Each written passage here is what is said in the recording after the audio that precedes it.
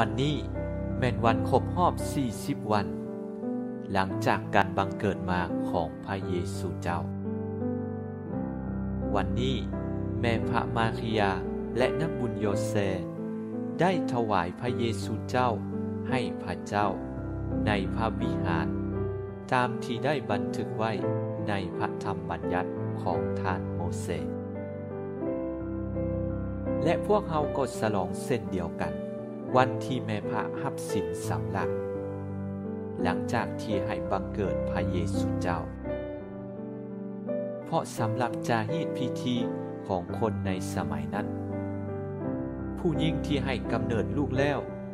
ถือว่าเป็นมนทิน มีความเปื้อนมอง เพราะนางได้สัมผัสกับเลือด ในกำหนดเวลา 40 วัน นางต้องได้หับการสำละล่าง ให้บริสุทธิ์ จากนั้นนางจึงสามารถเข้าไปพระวิหาร เพื่อปฏิบัติกิจจศรัทธา อยู่ในพระวิหารก็มีท่านซิเมออนผู้เท่าแก่ศาลา ที่คองถาพบกับพระผู้กู้ไทย ก่อนที่ท่านจะจากโลกนี้ไป และวันนี้พระจิตเจ้าก็ได้ดลใจให้ท่านซิเมออนได้พบกับองค์แห่งความหอด และแสงสว่างของนานาชาติอันแมนพระเยซูคริสต์เจ้านั่นเอง ด้วยเหตุนี้วันที่สองกุมภาทุกปี ในพิธีกรรมทางศาสนา พระคริสตจักรจึงมีการเสกเทียน และแห่เทียน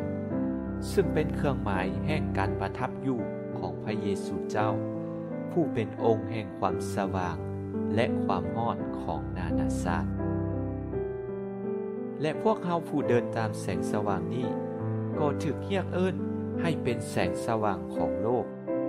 คือการเป็นพิญญาณถึงพระเยซูเจ้าในชีวิตของพวกเฮานั่นเอง